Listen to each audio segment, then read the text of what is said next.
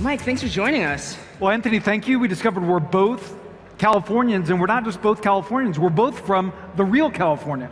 so, Southern California, so we've now angered like the entire TechCrunch wing right there. Perfect, this is off to a great start. Uh, you have much cooler kicks than I do. uh, so, as, just as a quick check, how many people here read or subscribe to Axios?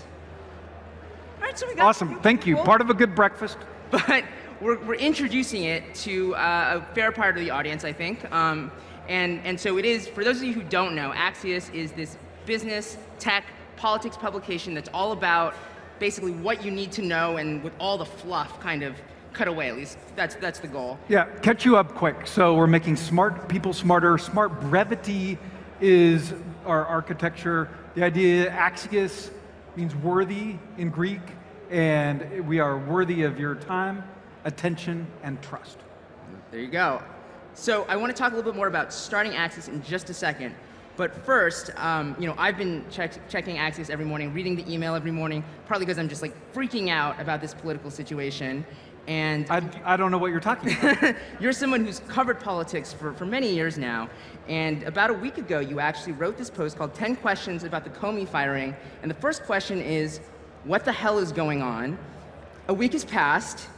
More, there have been more scandals. So let me just turn that question around on you. What the hell is going on with the Trump administration? Well, what the hell is going on is Donald Trump is being Donald Trump. And somebody told me early on, they said, if you want to know one guy who's not going to change, it's a 70 year old billionaire with his name on the building. And so Donald Trump is being exactly the way he has run his business, the, exactly the way he ran his campaign. And this is entirely predictable. Uh, so, so we'll, we'll, get back to we'll talk a little bit more about like your relationship with the, the Trump administration, but, but let's talk about Axios. Um, so one of the man, you have a, a manifesto and it begins, media is broken and too often a scam. What do you mean by that? Yeah, so, so much of media was built around journalists. So I came up through newspapers, the traditional great uh, news organizations that in their time did an awesome job of informing people, but as we got busier, as we got more choices, uh, they became a chore. So you have this fire hose of information coming at you. You have actually more important things happening in the world. So you have both more content and more news. I always feel like I'm missing something, and I'm right. And Anthony, here's a big one: is I wind up investing time in something that's not worth my time. I click on it, and I get to the end, and it just didn't deliver. So the idea of Axios is how could we efficiently use your information time? Catch you up quick, so you go on to axios.com, A-X-I-O-S.com, and I'm honored to have uh, two of my colleagues in the audience uh, here, Alexis Lloyd, who's our Chief Design Officer, Matt Boji, who is our uh, Baji, who is our uh, CTO, and the two of them are a big reason that uh, Axios is so successful. You go to axios.com and every story is the size of a phone screen. And so you can catch up very quickly. You can click, drop down, and get more. And uh, it, uh, when something is worth reading or worth being long, we'll signal that to you or uh, we'll write something long. But so much of content was long just because it served the journalists. I know from having done it, and this is the scam part, but for most stories you have one great stat, one great uh, new fact. Anthony, you would never do this. Uh, never. One great insight, and then we were trained to write 780 words around it to try to get on the front page or try to get in the lead slot of the website. With smart brevity, I can tell you what happened, I can tell you what matters, and you can quit, move on, unless it's worthy of your time and attention, and then Axios will tell you that, and you can dive a little deeper. So I think, I mean, that all sounds great. I think, again, especially... It is great. the TechCrunch writers who read a lot of tech news, we've all been in that situation. If you read the long story, did not need to be that long. But I think do you feel like anything is also being lost? And again, I know you do go long when necessary, but if your default is let's just get this as short and brief as possible, is some of that nuance being lost? Yeah, so uh, nuance is important. That's why we say worthy of your trust. Like, what we tell our journalists is we talk about the fact that you need to be both literally accurate, but also more broadly true. And so nuance is important. Like people know that everything in life isn't either one color or another, everyone's not good or bad. Like people want sophisticated explanation, but a sophisticated explanation isn't a long explanation. So, like, uh, thanks to uh, Matt and Alexis, we have this amazing technology where if it says read more, you can drop down, you don't click out, you don't have to leave the stream, uh, you stay right there. And so you can be longer, but when we push ourselves to explain something in a word or two, uh, in a sentence or two, like you actually have to get better information. You have to really understand what you're writing about. You can't hem and haw, give both sides. Um, we'll give both sides, but help you understand what's going on, what you're reading. And so uh, after the news break, we'll have, we call them axioms, and it can be what it means, it can be what's next, it can be why you care, why this matters, and help you understand that very quickly. So you go to axios.com, dip into our stream. Uh, great thing about the experience there is uh, our advertising, there's no ads in story. So no pop-ups, no banners, none of the things that you hate. Uh, instead, uh, we have messages between cards, between stories. So as you flip down and it's the Facebook architecture, you go like this.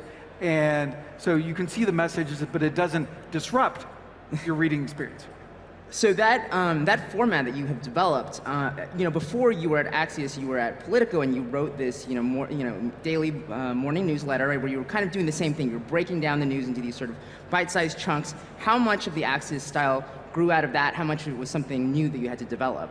Yeah. So uh, as uh, my uh, partners, Jim VandeHei, who's our uh, CEO, and Roy Schwartz, who is our third partner, he was the business genius behind our previous project, the three of us, as we start to, to explore, like, if you look at how people consume information, how, how information is disseminated, what's missing? And Matt and Alexis helped think about that and what do people need? What is, as you said, broken? And so a good example of our solution to that is my morning newsletter. So it's Axios AM and it's Mike's Top 10. So it's just 10 items. People like the discipline, the economy of that. You wake up and it's just, it's an email, it's free, uh, just 10 items, and uh, it takes in our big topics of, as you said at the top, media, tech, business, and politics. And we also dive into healthcare, and we've just added, uh, we've added uh, healthcare and energy, and then just this week, uh, we added science. So we now have a science stream uh, Alison Snyder, who's our science editor, came from the Washington Post as an MIT trained scientist and can help you see in all the journals that come out, all the discoveries that come out every week, like what is worthy of your time and attention. You dip into the Axios science stream, and now you can pick up on that very quickly. Uh, very uh, soon, we also are going to be launching the future of work. So looking at automation, AI, robotics, help people understand that. We just hired great guy Steve Levine from Quartz, who is obsessed with all those topics and is already helping our readers understand them, calling attention to things that are going to be happening that are going to affect their businesses, their decision making, their lives. So when you started Axios, I mean, given that you now now are covering a fairly fairly broad range of topics, was that always the goal, or did you initially want it to be just politics and tech, or how did you? I mean, how, you, how did you expand so quickly, essentially? Yeah. So Anthony, one of the things that we realized, and you see this uh, reflected in tech coverage as well, that it used to be, it wasn't too long ago that you could be an expert in politics or an expert in tech or an expert in media. Now, if you're running a business or a government or a philanthropy or whatever you're running, like you need to be smart about all of those, and they're all colliding. So, um, tech is business, and media is tech, and politics is media. And so, you really need to understand that landscape. And what Axios can do is bring those together and show you the collision, the convergence of those topics, uh, which is where the great innovations are going to be. Uh, had the great uh, privilege of visiting with a lot of you outside, like so much optimism in this room, like a very inspiring room, and the great fortunes and the great innovations uh, that uh, come out of this event uh, are all going to be in where those uh, topics come together. I, I mean, I agree with you. I also feel like sometimes readers don't necessarily want that. I mean, certainly at TechCrunch, we've, as I think we've probably had more political coverage over the past year, and we've gotten a lot of comments to the effect of, why are you covering politics? Just stick to tech. And, and this is, I mean, maybe some of those commenters are in this room right now, but it, I mean, I think speaks to the point that sometimes all people want also this very kind of more narrow vertical experience do, do you feel like there, there is still that reader, reader appetite for something that broad? What we find is that people want expertise and uh, they want to be smart one place. They don't necessarily want to hop around. So in media, for instance, we cover media in a way that no one ever has before. We have a media trends reporter, Sara Fischer, who worked on the business side of the New York Times and Politico and worked on the editorial side of the Washington Post and CNN. So someone who understands both those worlds, and she's able to cover the trends in how consumption is changing and covering cord cutting, covering uh, how the social platforms are evolving. And so if I go on that, whether I'm interested in business, politics, uh, or media, like those things are gonna affect me. So the challenge for us is to, how do I make those relevant to people? If someone is making decisions, if someone is inventing, creating, is running businesses, as the people in this room are. Like, what from those worlds will matter to you? One thing we think a lot about is, like, what's going to last beyond the news cycle? Like, what is, what are we going to care about Monday? What are we going to care about in October? What are we going to care about a year from now? Because so much of what's out there is ephemeral. And our uh, CEO, Jim VandeHei, called it the crap trap. And the crap trap is that if you're just going for clicks, if you're just going for a mass audience, like you get pushed down. Whereas we're very focused on reaching the people in this room, like people who are serious news consumers, people who want to know about it because they're curious, want to know about it because uh, it helps them in their business and their professions. And uh, that's what we think about when we post something. We want to make sure that it's worthy of your time. So Mike, I want to talk a little bit about your own process. Um, what I've heard is that you get up at like 2.30 or 3 in the morning, some crazy early time, and you don't use an alarm clock. Like, take me through, like, what is going on here? Well, in uh, California, that's 11.30, so uh, we're just, uh, it's just a late night for you. But uh, uh, no, I, I wake up every morning, I don't use an alarm clock uh, because I'm so excited every morning to work on Mike's Top 10. I appreciate all the people in this room who read it. It makes me feel good. It makes it worthwhile to get up. It's funny, I've done this for 10 years, and there's never been a single morning. And I said, ah, I, I think I'll sleep in. Because we do, uh, Mike's Top 10 comes out seven days a week. And the history of that is when we first started, we just did it weekdays. And then we discovered that people wanted it more on the weekends because hopefully uh, a little saner people out there aren't on their devices all weekend, and people love to catch up quickly. And so we used to take Christmas off, and then we discovered no, people want it more on holidays because you're maybe traveling, and uh, again, you're off your devices. So uh, we do it uh, 365 mornings a year. It's always exciting. Uh, a little uh, idea I had in my sleeve is for years and years, I've thought some morning, probably a Saturday or a Sunday, I'm going to say, you know, there's nothing happening today that's worthy of your time and attention. Go outside, play with your kid, like, like ride your bike, do something else. Uh, but uh, the times we live in are so amazing. There hasn't yet been that morning that I said, we're going to take a break today. Right. So when you say 365 days out of the year, is Mike writing Mike's top 10 365 days out of the year? You don't? You're not taking a vacation? I do. Uh, I do take uh, vacations, but uh, uh, Mike's top 10 usually goes on vacations with me. Uh, okay. Over the years, we've had a couple of uh, uh, times when I didn't have Wi-Fi that uh, someone jumped in. okay, fair enough. Uh, so one of the things that in your, in your past life you were written about as um, the man the White House wakes up to, and that was under the Obama administration. So I'm curious, what is your relationship like with the Trump administration? So uh, we try to explain the Trump administration, and there's a lot of people who on both sides who uh, wonder, like, as you asked at the top, what the hell is happening? And uh, we try to help people understand, like, how do they make decisions? Who do they listen to? What are they thinking? Very much like we did with Obama. And uh, Axios is down the middle. We work with both sides. We fight with both sides.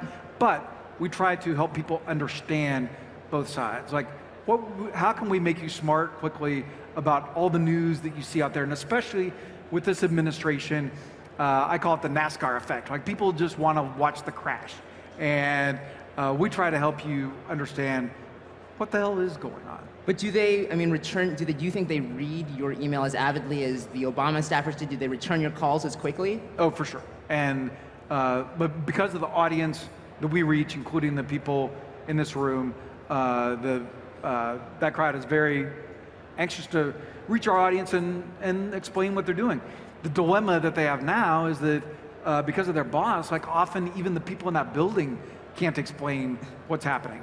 so um, uh, it's uh, often as much of a mystery to them as it is to the outsiders. But what we find is the people are hungry, starving to understand what's happening in there. Even Republicans, maybe especially Republicans, because this administration did come out of nowhere. He did not come up in politics the way you typically do. That was probably an advantage to him during the campaign. Uh, in the White House, they're finding some of the cost of that. But either way, people want to understand it. And I call him the new, Trump is the new NFL because everybody has an opinion about it, everybody wants to talk about it in a way that they rarely did in the past. So when you're covering an administration that has a complicated relationship with the media, a complicated relationship with the truth, and you're trying to do this, these, this sort of fast, boil it down coverage, does your responsibility change? I mean, if, if the president, you know, goes out and he says something that's blatantly untrue, what kind of responsibility do you have then to say the president is a liar? Yeah. Uh, people are very anxious for you to cut through what's out there and tell them what's really happening. So in these times, uh, both political and given our attention uh, span and our consumption patterns, it's even more important to quickly say what's going on. So we have a series on Axios.com, Facts Matter. And Facts Matter helps you very quickly see whether it's a leader on the Hill or whether it's uh, someone uh, in the White House or whether it's the President of the United States. Whoever it is, we very quickly are able to take what's out there and help you quickly see at a glance um, like how that fits with reality. Something that we talk about a lot at Axios is that a big problem with fake news is that people don't believe real news. And facts do matter. And like in previous generations, there were a couple of places that people went, and most people believed what they saw there. Now, people very understandably don't know what to believe, who to trust. And so that's what we try to do at Axios is with Facts Matter, with our smart brevity, with our subject matter experts, we hope to be a safe place for you where you can come, and it doesn't matter where you are on the spectrum, you're going to be able to very quickly see what reality is. And, and reality is in very short supply in our public life these days. So that, I mean, that again sounds really great, and I mean, I think so. That's like sort of an editorial strategy to say here are like what the facts are. At the same time, it's happening in this environment where there's sort of all this argument and you know everyone's sort of in their own filter bubbles. Do you think that an editorial strategy is enough to sort of combat that? Yeah, no, and, and it's not just an editorial strategy, but it's thinking about how conversations are going on in America. So two days after the election, uh, I flew out to uh, Casper, Wyoming to do a speech. And I was going to talk to a business group there. And before I went out, they said, uh, we have a group of 22 community college students who are having breakfast over here. Do you want to go have breakfast with them? I'm not sure. I love talking to students. And I went in there and we had these 22 community college students. And I said, how many people in this room voted for Donald Trump? In most rooms that I speak in, it's usually a kind of small number. Almost every one of these students had voted for Trump. And I said, you know what? I'm not going to say another word. The last thing I'm going to do is fly across the country and tell you why you voted for Donald Trump. Like, that's how we got in trouble in the first place. I said, I am going to listen. And as I listened to them tell their stories, like, my number one takeaway was that so much of their information, so much of their conclusions were coming from conversations that happened socially, that happened locally, that were not informed, that were not attached to the great legacy news organizations that we're used to. So a great challenge for the media now is how do we reflect those conversations? How do we capture how people are really getting information? And this is what Sara Fischer has been able to do with our media trends coverage is look at those uh, social filters. And one thing that we discovered by diving into the data was that the Comey conversation, which in sort of the uh, big city was, was dominating conversation, on Facebook, it was the seventh most engaged topic that had happened just in the short 117 days of this administration. And I know that because Axios is 119 days, 102 days before they did. All right, well, thank you so much for, for joining us, Mike, and taking us through this really crazy time. Anthony, thank you for a great conversation. Thank you all for reading Axios. Appreciate it. Awesome, so thank you.